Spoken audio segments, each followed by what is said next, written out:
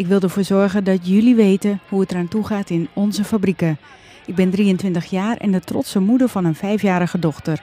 Sinds mijn dertiende al werk ik in een kledingfabriek. Ik maak kleren voor Nederlandse winkels. Ik ben geboren in de sloppenwijken van Dhaka, de hoofdstad van Bangladesh. En mijn wereld bestaat uit mijn dochter en de kledingfabriek. Mijn naam is Roemana. Ik sta elke dag op voordat het licht wordt. Er zijn drie wc's en twee badkamers voor 17 families. We hebben ernstig watertekort. We kunnen het ons niet voorstellen elke maand vis of vlees te kunnen kopen. Tegenwoordig kan ik op de een of andere manier overleven. Op een dieet van droge rijst, aardappelen en linzen. Vaak raak ik hier allemaal zo gefrustreerd van, maar ik heb altijd hoop gehouden. Ik werk van 8 uur s ochtends tot 10 uur s avonds, dag in, dag uit. Het werk is saai en monotoon.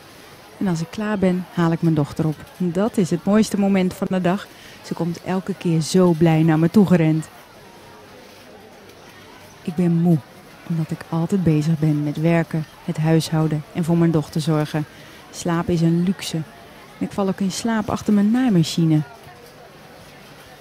Mijn dagelijkse target is gesteld op 1000 stuks. Soms haal ik er 1100. Het duurt trouwens 10 uur om 800 stuks te maken.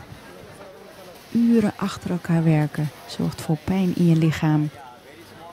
De omstandigheden in de fabriek zijn echt verschrikkelijk. Ik moet in de rij voor water als ik dorst heb en de toiletten zijn nog het ergst. Er zijn maar 15 wc's voor 8000 of 9000 arbeiders.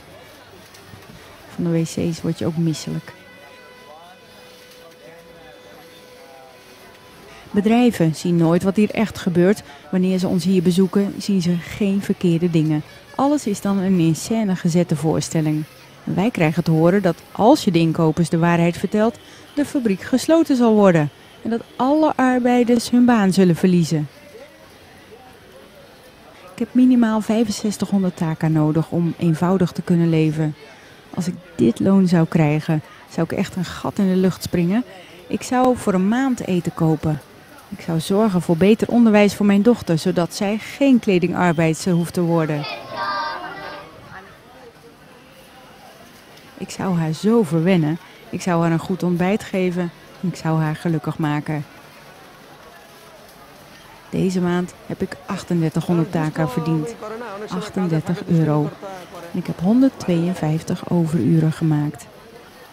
Als een supervisor zich misdraagt of scheldwoorden gebruikt, moet je eigenlijk niks zeggen, je niet verzetten. Ik verzet me wel. Als ik er niks van zou zeggen, heb ik letterlijk het gevoel dat ik gif inslik. Ik ben niet bang. Ik heb laatst zelfs een keer vrijgevraagd en gekregen. En dat gebeurt niet vaak. Ik kreeg het omdat ik hard werk en zeg wat ik denk. Dat zijn ze niet gewend van arbeiders. De supervisor heeft al een paar keer aan me gevraagd of ik geen relatie met hem wil. Maar daar heb ik vriendelijk voor bedankt. Wij maken jurken voor anderen. Onze kinderen hebben zelfs tijdens de feestdagen geen mooie jurk om aan te trekken. Ondanks dat ik het zwaar heb, sta ik positief in het leven. Ik ben blij dat de Schone Klerencampagne mijn verhaal verspreidt. Daardoor heeft mijn leven zin gekregen.